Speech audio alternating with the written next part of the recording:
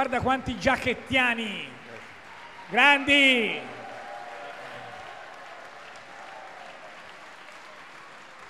Buonasera. Sì, eh, no, per favore, grazie.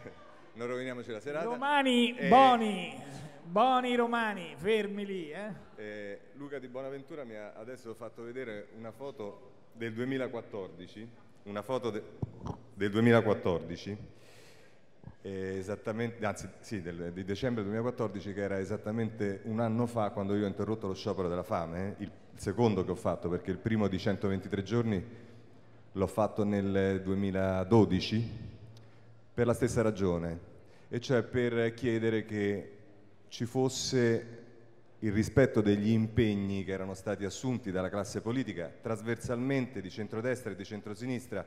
Ci tengo a dirlo perché qualcuno ha detto che io facevo lo sciopero della fame perché volevo che si facesse il Mattarellum o addirittura qualcuno ha detto che io facevo lo sciopero della fame perché volevo l'introduzione delle preferenze, cosa che Matteo sa perfettamente, è una cosa che proprio io adoro, è una cosa che penso sia la migliore cosa che sia stata fatta con questa legge elettorale.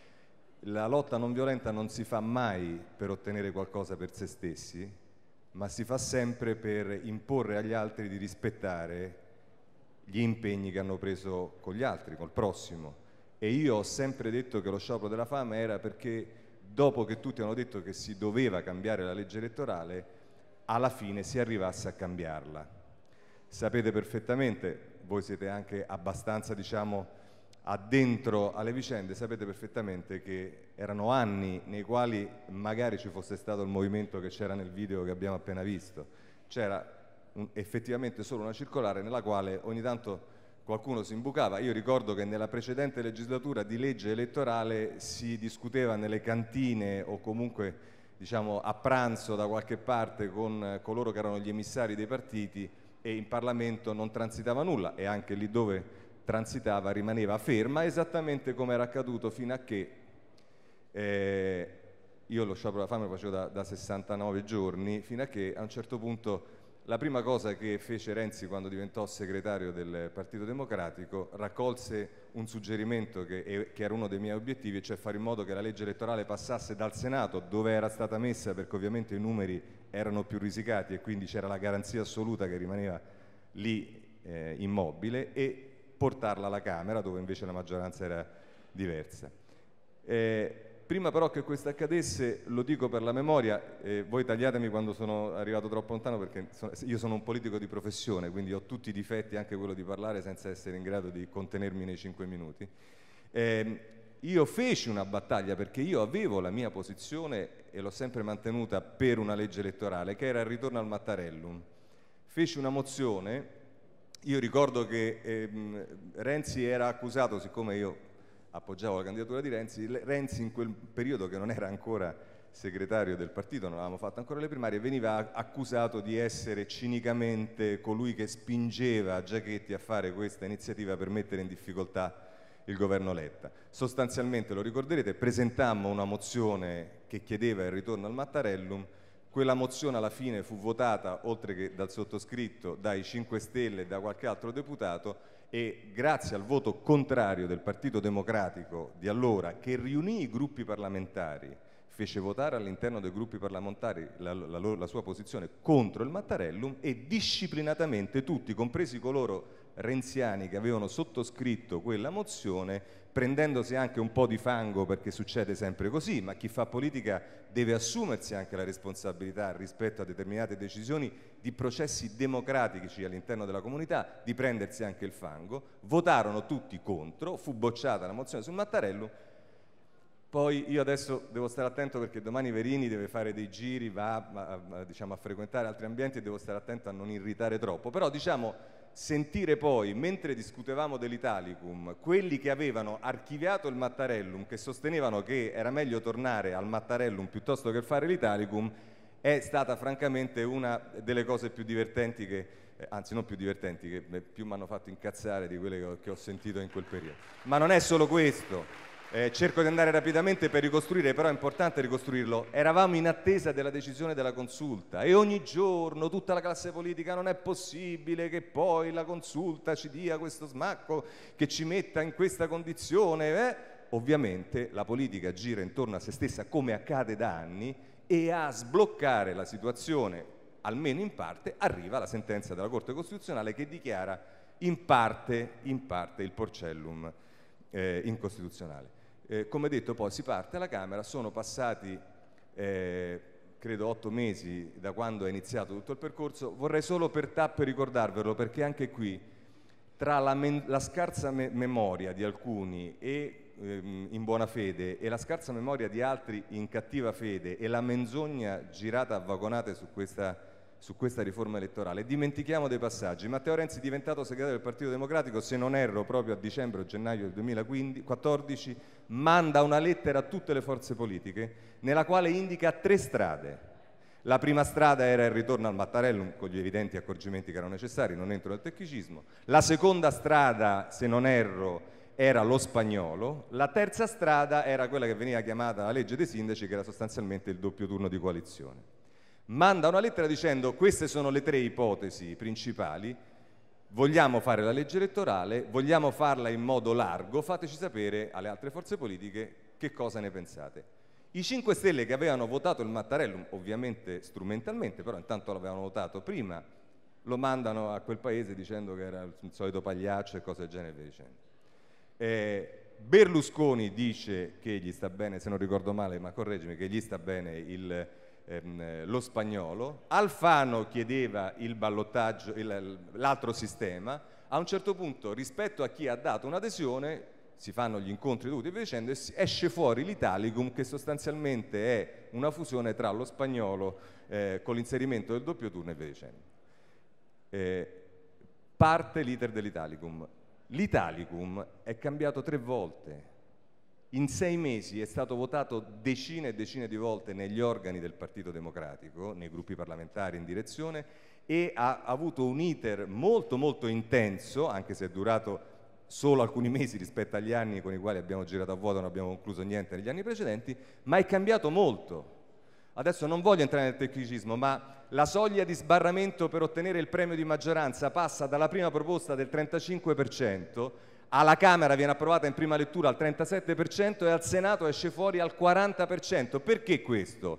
Perché nel dibattito che si dice non c'è stato, nel confronto che si dice non c'è stato, nella durezza dell'imposizione dell'unico uomo al comando, questa è una cosa che cambia tre volte ovviamente perché è sollecitata e io penso che sia stata una cosa utile. Vorrei ricordarvi semplicemente che quelli che dicono che l'Italicum è uguale al Porcellum, tanto per cominciare col Porcellum si vinceva con un voto di differenza, cioè il premio di maggioranza veniva assegnato anche se tu prendevi un solo voto in più dell'altra lista. Ora, dire che queste due cose erano, sono uguali, diciamo, c'è una soglia del 40%.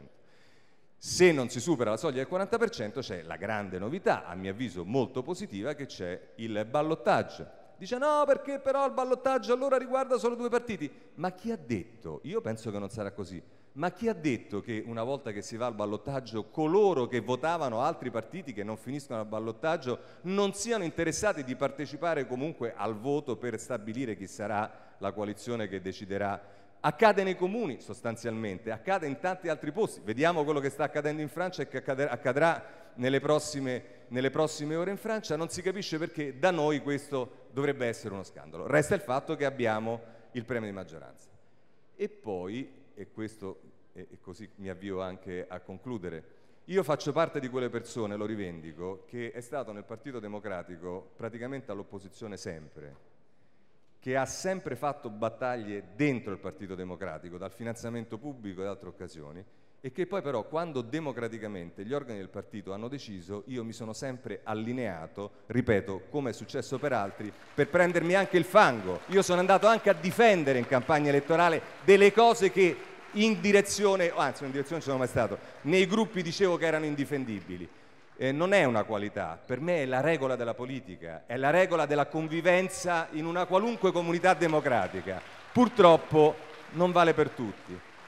Però lo dico perché Matteo sa, e forse qualcuno di voi l'ha visto in direzione, che io ritengo la mediazione alla quale si è arrivati con la minoranza interna che ha preteso l'inserimento delle preferenze in una legge che non le conteneva, segnalo che nella precedente legislatura si era arrivati alla possibilità di cambiare il porcellum semplicemente con la introduzione delle preferenze. Era una ipotesi che veleggiava. E io ricordo le interviste del segretario del partito di allora, Bersani, della, di, di, di, Violante, della Finocchiara, tutti, che dicevano le preferenze piuttosto che le preferenze sono la fine. Perché giustamente, adesso vi, vi dico anche molto rapidamente perché penso che le preferenze siano...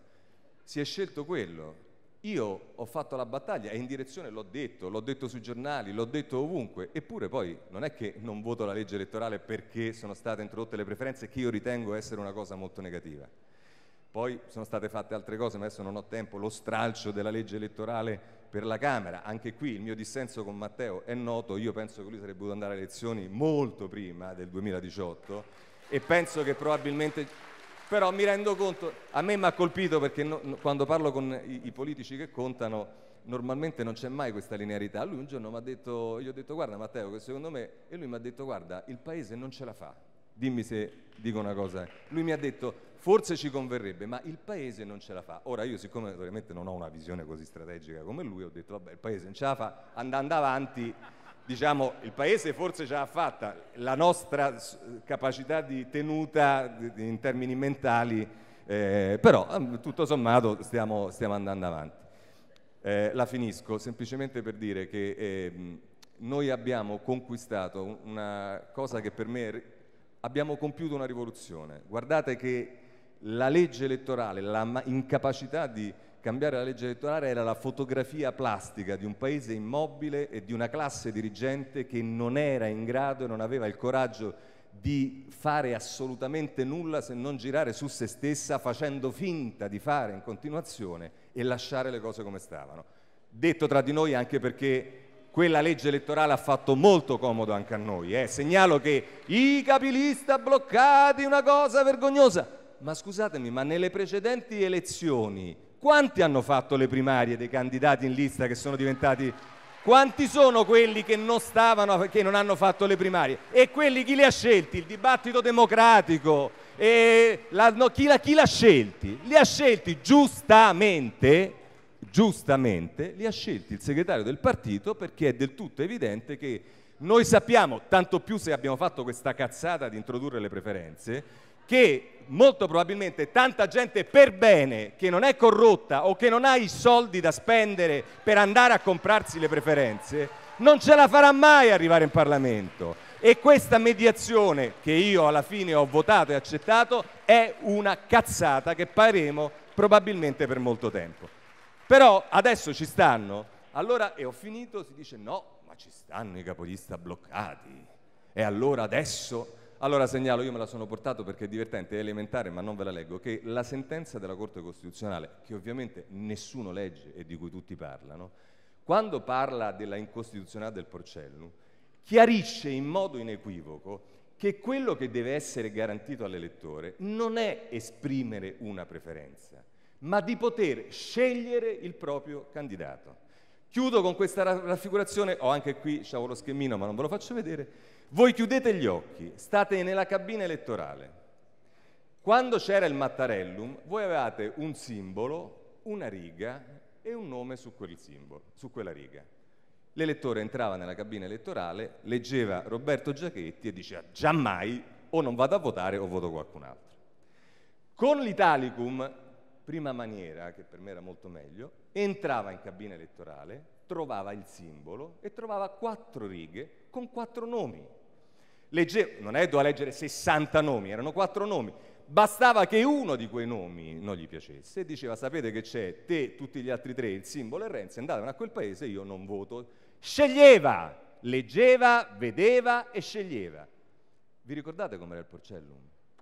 In Porcellum tu entravi in cabina elettorale, avevi un bel simbolo, le liste se andava bene stavano lungo i corridoi delle scuole, che ovviamente c'era la gente che faceva la fila per andare a vedere, votavate il simbolo e con circoscrizioni così grandi vi portavate a casa 20, 25, 28 deputati in alcuni casi. e non sapevate chi erano. E poi magari dopo vi dicevano pure che voi avete letto gli indagati, avete portato in Parlamento gli indagati, perché chi li conosceva? Come si fa, se c'è un minimo di onestà intellettuale, a sostenere che l'Italicum ha lo stesso vizio del Porcellum perché ha i capilista bloccati?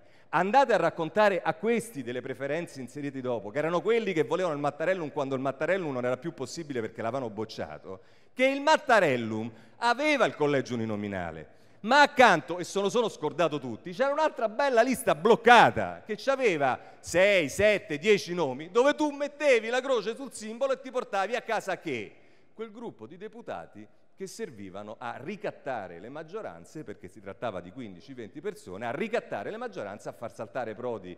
Ne bastava uno, Turigliatto, nessuno se lo ricorda, era uno. C'era una maggioranza di uno al Senato, quello la mattina si svegliava che gli giravano eh, e finiva. E la, e saltava, e la maggioranza saltava. Questo è quello che ha prodotto, diciamo, una certa cultura delle leggi elettorali. Allora, alla luce di tutto questo, io ho veramente concluso e mi scuso se ho in modo forse appassionato anche, e mi scuso con Guerini che domani avrà un compito forse un po' più difficile, però vi devo dire che abbiamo conquistato una cosa immensa, quasi impensabile, e ve lo dice uno che ha passato 300 giorni senza mangiare perché ci credeva in questa battaglia.